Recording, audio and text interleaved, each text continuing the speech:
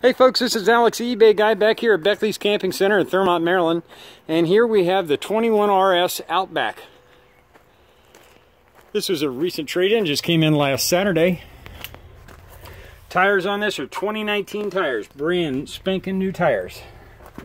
We have an outside kitchen area right here, pulls down. You got the got the stove over here and a wash sink over there. You got a water outlet right there. 21 RS model.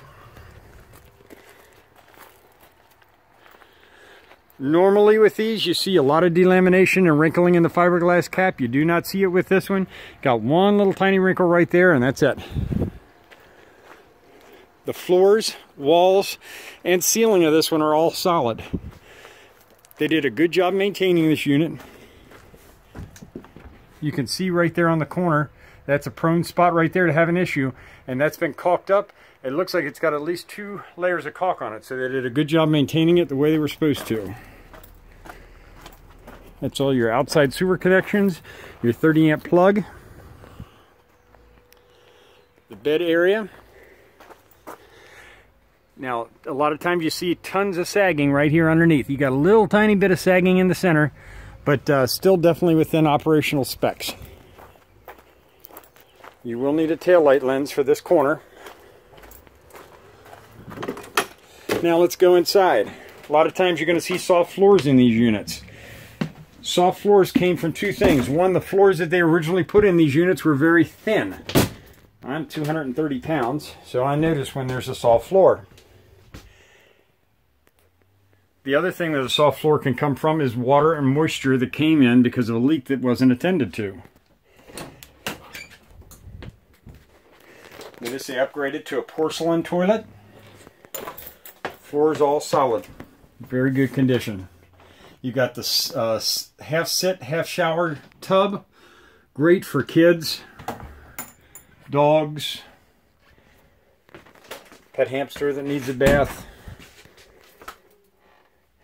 The stove doesn't look like it was used much at all. These burners are still clear, and this one has a minimal amount of blackness on it. The oven don't think it was ever used at all. Nice clean microwave.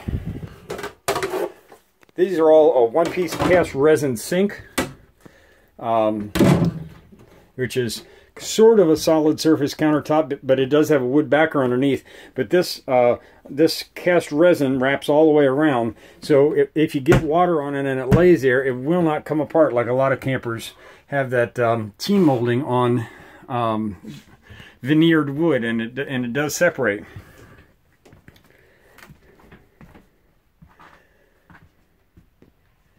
We've got a queen size bed in the back.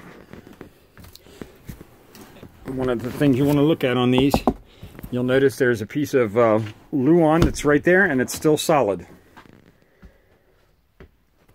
That's important on these on these Outbacks. Also the the room moving system, the tracks are still screwed in the way they should be and they're nice and straight. That's important on these. We've got an air conditioner that blows cold and a heater that blows hot. The only spot I see in the whole thing where there's even a little bit of give in the floor, and I can tell it's just because there's not a stud right underneath it, because I'm standing in the middle between the frame axle rails, is a little spot right there, and that's barely even worth mentioning. Okay, it's a